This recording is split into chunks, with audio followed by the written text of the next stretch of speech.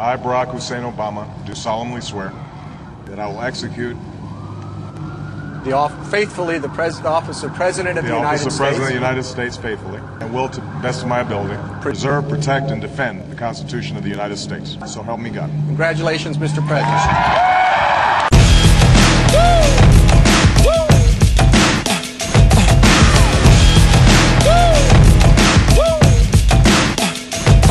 So my name is Biko. I'm the executive director of the League of Young Voters Education Fund, and we work in nine states across the country, making sure that young people and people of color, disenfranchised communities, are winners and players in the political game.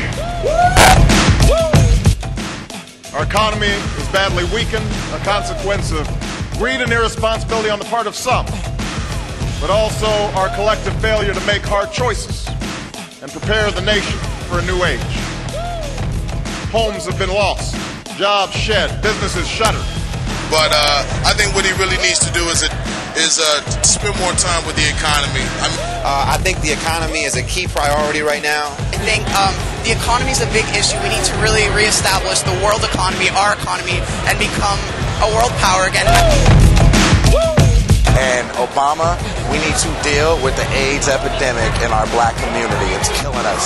It's hurting us. Um, I mean, one of the issues that are affecting America uh, as a, as a whole is HIV and AIDS.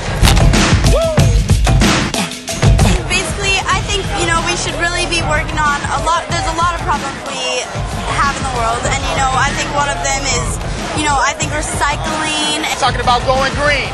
So, you know, we got to save the environment. We got to do that. That got to happen.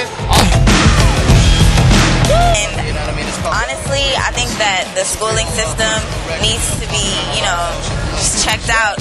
And we will transform our schools and colleges and universities to meet the demands of a new age.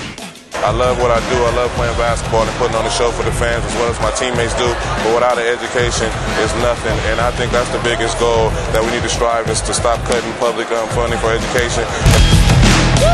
I think it's very important uh, that we erase, you know, boundaries and categories that that uh, divide us even further. I think the God-given promise that all are equal, all are free, and all deserve a chance to pursue their full measure of happiness. Everybody needs to do the best they need to be, be the best they need to be, do the best that they can do, and think consciously about the person next to you. We won't have issues. I would encourage my straight folks who are talking about this issue the, to get on the right side of history. And to, to my queer activists, I would encourage you this. Come up with smart campaigns. Don't silo yourself. Show the connectivity, connectivity of all of our issues. It is all one struggle. We all we are all human beings, and we all have to love each other. Thank you. Um, I think Obama should really still help New Orleans. Um, I love New Orleans very, very much. It's very dear to my heart. We will begin to responsibly leave Iraq to its people and forge a hard-earned peace in Afghanistan. With old friends and former foes, we will work tirelessly to lessen the nuclear threat and roll back the specter of a warming planet. And I would say the biggest issue right now to me is definitely the war. I just think it's been going on way too long, and we need to bring our troops home. So no. You know what? I think uh, President Obama is right on point right now. You know, everybody is trying to judge him by his first 100 days as if it didn't take eight years of failures to get us in this mess, and they expect him to fix it in the first 100 days. So I think we need to give the man a chance.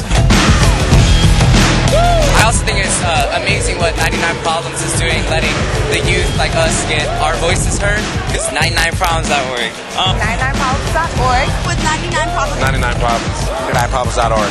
99problems.org. You know what I mean? Yeah, it's going down. And I'm here with you at the present time with 99problems.org.